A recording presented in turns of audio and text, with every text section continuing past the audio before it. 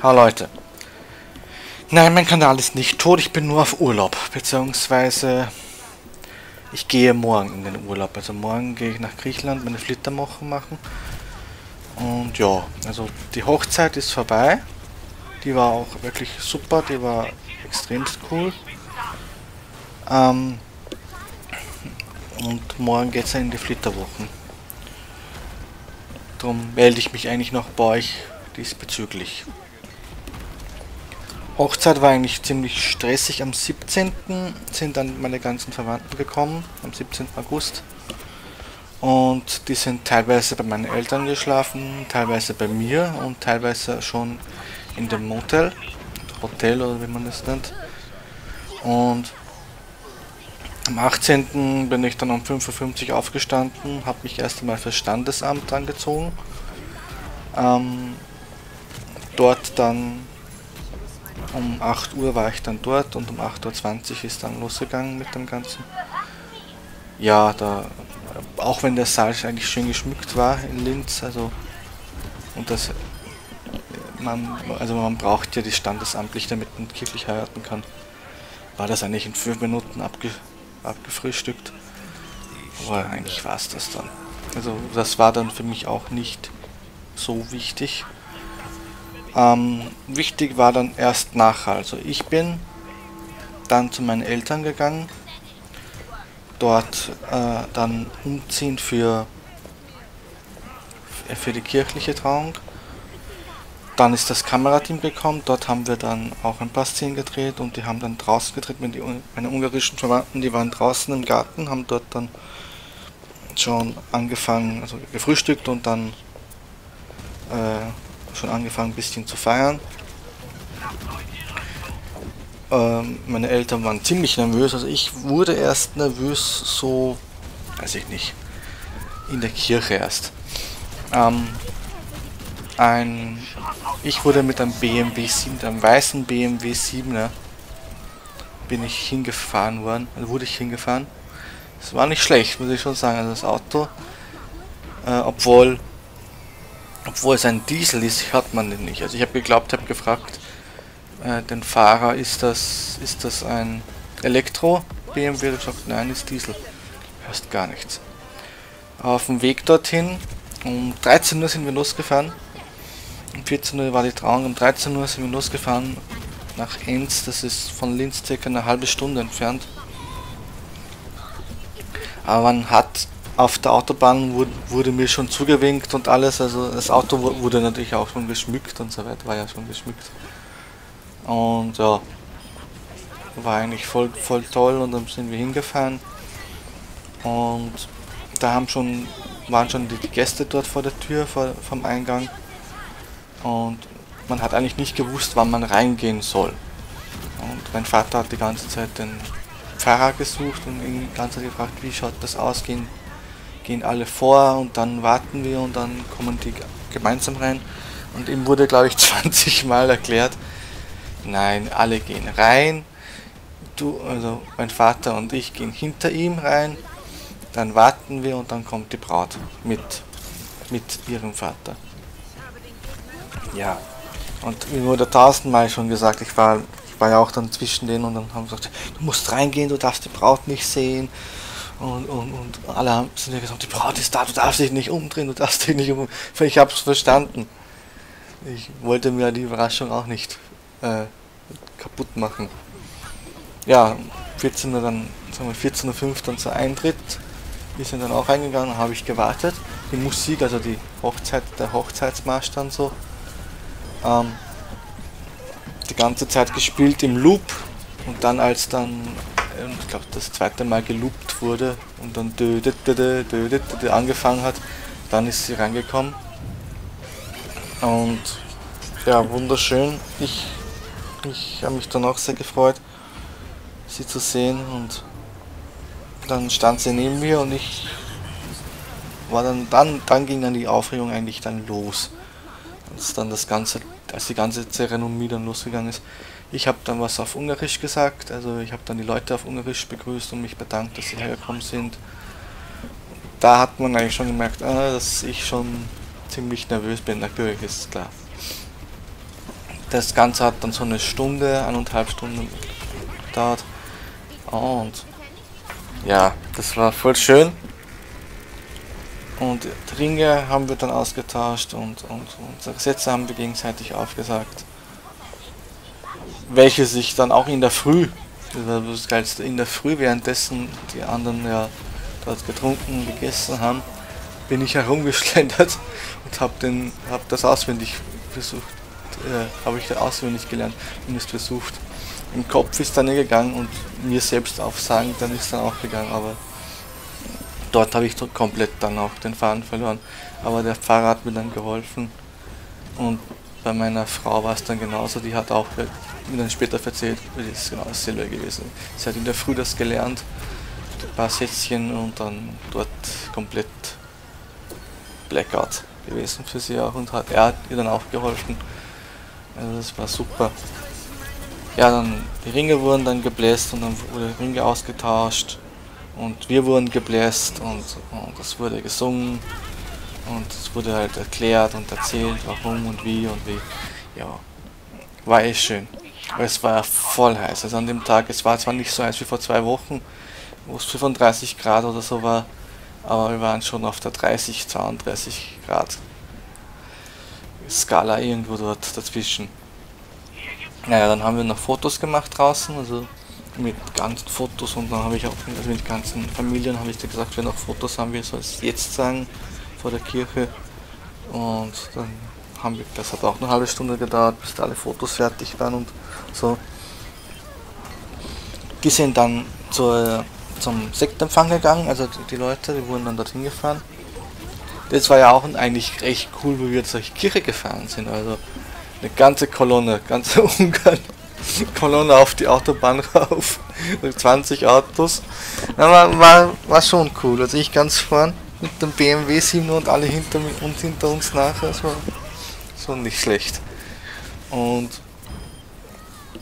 dann, das war dann Genau, dann sind wir Fotos machen gegangen in Ensom beim Stadtpark, bei, bei, bei der Burg da oben. Und das Lustige war, dass dort eigentlich auch ein anderes Paar geheiratet hat und die Leute haben dort schon gewartet. Aber dann sind wir reingekommen und die haben halt dann verdutzt geschaut, hey, das ist nicht unser Brautpaar, auf das wir warten. Wir haben aber die Situation ausgenutzt, haben dort und dort Videos gemacht und haben dort, sind dort herumgeschlendert und so weiter, haben dort Fotos gemacht. Und genau wo wir dann fast aufgehört haben, äh, sind die schon reingekommen mit Pferdekutsche, habe ich gesagt. Ja, du hast zwar eine Pferdekutsche, aber du schaust nicht besser aus als ich. also ich habe ihn gesehen, also normales Frack, weil ich hatte einen ungarischen, ungarische Tracht an, also alle. Der Kameramann und Foto, der Fotograf. Henrik, du schaust so gut aus. Henrik, das schaut wirklich zehnmal besser aus als, als, als äh, ein normales, ein normaler Anzug. Und ich mir Dankeschön. Und ja, da habe ich mir gedacht, ja, du hast zwar eine Pferdekutsche, was ich mir nicht leisten konnte, weil ich habe mir die Preise gedacht, das ist, das ist nicht wert. Für, das, für die fünf Minuten der, der Preis, weil von, von der Kirche zur, zum, wo wir essen waren, waren es Minute Autofahrt. Also das war 1,5 Kilometer da mit Google Maps, glaube ich. Und ja, das, das hätte sich nicht gelohnt, das ist Blödsinn. Ja, dann haben wir noch draußen noch Fotos gemacht vor, vor, der Stadt, vor der Burg und dort haben die Leute dann schon gewartet und haben uns dann begrüßt und waren eigentlich alle da und haben sich alle voll gefreut und, sind raufgegangen. Dort habe ich dann auch noch eine kurze Ansprache gehalten, nochmal auf Deutsch. Nochmal äh, gefreut, dass ihr, danke, dass ihr da seid. Äh, dann haben alle Essen bestellt und das Essen war auch super gut, also das haben alle gesagt, das hat super gut geschmeckt. So ein Schmaus hat es gegeben, also mit verschiedenen Fleischarten, mit Knödel und Kartoffeln und Sauerkraut, das war super, das habe ich genommen. Dann hat es Schnitzel gegeben mit Kürbiskernsuppe, Kürbiskernsuppe, Kürbiskernsoße und auch Kartoffeln, glaube ich. Das haben meine Eltern genommen und meine Frau hat Fisch genommen. Die hat Fisch mit irgendwas, keine Ahnung. Das haben auch ziemlich viele genommen, den Fisch. Obwohl mir meine Eltern gesagt haben, na, Fisch werden wenige nehmen. Das war so um 18 Uhr, so 18.30 Uhr. Dann Torte. Ich glaube, dann war die Torte, Torte, Tortenanschnitt, haben wir die Torte verteilt. Und dann hat noch meine Frau den Strauß geworfen. Und dann war noch eine Ansprache, eine kleine von mir, dass halt jetzt der Tanz eröffnet ist. Also wir haben getanzt. Hochzeitstanz war dann, also wo meine Frau und ich getanzt haben. Einmal ihr Lied und dann einmal meins. Sie hat Demi Lovato Yes genommen und ich habe Earth Angel genommen von Zurück in die Zukunft. Ich weiß nicht, wie die Band heißt, die das wirklich singt, aber ich habe es halt von dort. Das wollte ich eigentlich immer an meiner Hochzeit haben, dieses Lied, weil ich das einfach so schön finde. Und dann hat es noch den Vater-Mutter-Tanz, Vater-Mutter, Vater-Tochter-Tanz gegeben. Ich weiß auch nicht wirklich, welches Lied das war. Ich glaube Bon Jovi. Ich weiß nicht mehr, keine Ahnung. Und ja, dann, dann ist losgegangen mit dem Tanzen. Alle haben mit, mit uns getanzt und alle haben mit uns geredet und haben alle gesagt, voll schön. Es waren so circa 50 Leute, aber jeder hatte Platz. Man konnte, also wir, wir saßen vorne, neben uns war die Liveband ungarische Liveband, die das wirklich super gemacht hat. Und man hatte den Blick, man musste nicht von links nach rechts schauen, sondern man hatte gleich, wenn man gerade ausschaut, alle im Blick und das war eigentlich super. Also von der Größe vom, war auch super. Einziger, einziger Wermutstropfen, weil es echt, echt wirklich heiß war und die Leute eigentlich alle nur mit dem, mit, also die Leute waren Hasi, haben zwar solche Wedler gehabt, ich weiß nicht wie das heißt, äh, zum Luft wedeln, aber hat nicht viel geholfen. Es war wirklich heiß. Draußen sind die Leute natürlich auch gesessen und drinnen auch. Es war so dann, ja, die, die, die Rauchen waren eigentlich waren dann draußen und dann sind die reingekommen und wieder rausgekommen und ich bin dann rausgegangen und gesagt, hey, jetzt gibt es eine Ansprache oder jetzt ist der Hochzeitstag. sind die alle wieder reingegangen, brav. Und ja, 20 21 Uhr, 22 Uhr war dann noch so, haben wir dann noch einen Gulaschkessel aufgestellt, damit man jederzeit und Semmeln und Brot, damit jederzeit dann auch, weil sich nur doch noch einen Hunger hat, sich das nehmen kann. Und um 0 Uhr hatten wir, sind, haben wir uns dann in diese ungarische Tracht, in die zweite ungarische Tracht umgezogen. Also Tracht war es eigentlich, doch, weit doch eigentlich schon es gibt so einen Brauch bei uns, dass wenn man heiratet und am nächsten Tag muss man sich eigentlich um 0 Uhr umziehen, weil man dann eigentlich nicht Hochzeitspaar ist, sondern eigentlich schon verheiratet ist und das dann so auch zelebriert. Sagt, hey, jetzt gestern war die Hochzeit, gestern waren wir noch Hochzeitspaar, heute sind wir verheiratet und den ersten Tag unserer, unserer Ehe feiern wir so. Und das haben wir um 0 Uhr gemacht, haben wir uns umgezogen und das schaut so aus, dass man so rot rotes Seiden, rote Seide anhat, beziehungsweise eine rote Tracht mit ungarischen Blumen. Kann man einfach mal googeln. Das heißt Menjetschke. Und da waren es alle hin und hin und weg. Also da haben wir gesagt, wow, voll super und auch hin und weg.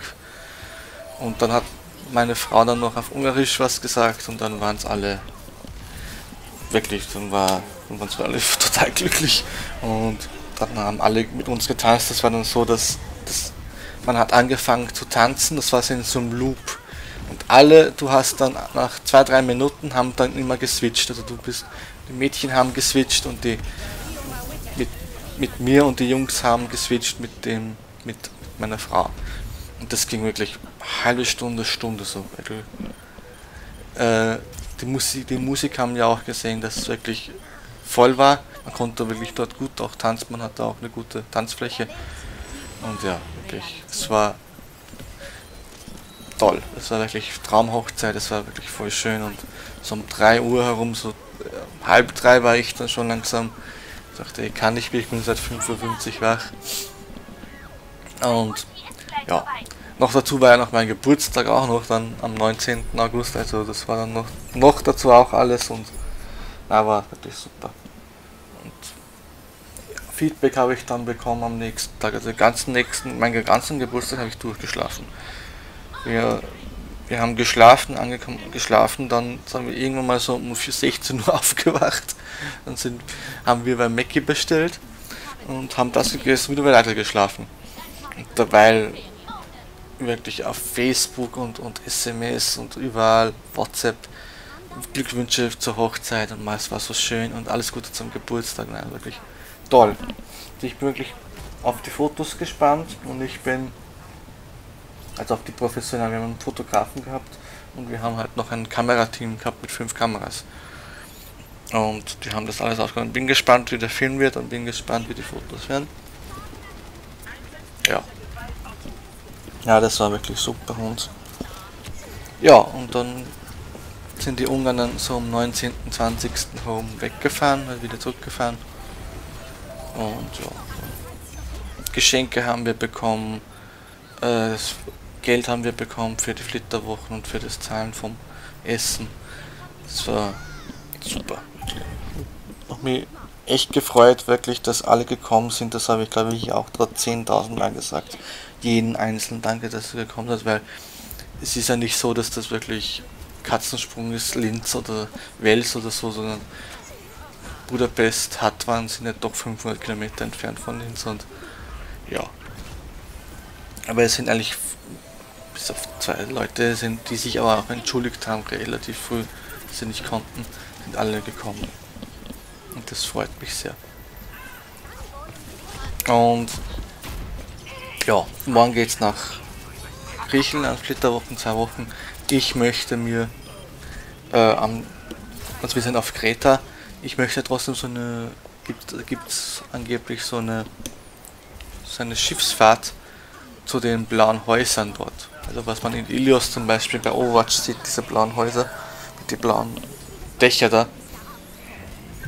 Die würden mich schon interessieren und äh, da gibt es eine Schiffsfahrt, die dort auch stehen bleibt. Und da schauen wir mal, was dazu kommt. Gepackt ist alles, morgen in der Früh um 8 Uhr geht's los, wenn wir nach Linz-Hirsching zur Flughafen gefahren und ja, 9 Uhr müssen wir dort sein, einchecken, zwei Stunden um 11 Uhr irgendwas geht's los. Und so 16 Uhr, 15 Uhr sind wir dort, angeblich drei Stunden Flug. Drei Stunden irgendwas. Dann noch äh, eine Stunde mit dem Bus. Und dann sind wir dort. Bin gespannt, bin auf, bin auf alles wirklich gespannt. Ich versuche irgendwie Fotos oder Videos zu machen. Keine Ahnung, wie es dort wird vom Internet oder alles. Aber ja. Und dann gibt es auch wieder neue Videos, weil dann so ab September gibt es dann wieder neue Videos. Bin ich ja wieder regelmäßig, weil mit dem Restgeld, was mir dann bleibt, weil jetzt gehe ich mit dem Geld dann dort, äh, nehme ich mit, damit man dort auch essen gehen kann und so weiter auch. Wir haben Halbpension, also Frühstück und Abendessen und Mittagessen, einfach irgendwann, das, weil das all inklusiv ist, ist Blödsinn. Weil wir sind dann eh am Strand, beziehungsweise eh in der Stadt unterwegs und dann isst man dort irgendwo bei irgendeinem Café oder irgendeinem Restaurant. Und da ist, ist, ist Blödsinn alle inklusiv, haben wir gesagt, als wir es gebucht haben. Darum Abendessen ist okay. Und Frühstück. Danke fürs Zuhören und danke für die Glückwünsche. Ich freue mich sehr und wir sehen uns dann im September. Oder ich, ich mache vielleicht ein Video. Man weiß es nicht, keine Ahnung. Vielleicht mache ich irgendein Video oder vielleicht schneide ich nachher was zusammen. Ich weiß nicht. Aber danke fürs Zuhören